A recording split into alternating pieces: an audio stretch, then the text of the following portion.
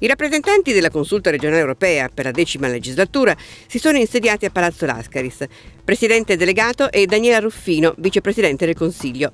La consulta è composta da rappresentanti delle organizzazioni europeistiche, associazioni imprenditoriali, enti locali, sindacati, partiti politici e dagli europarlamentari.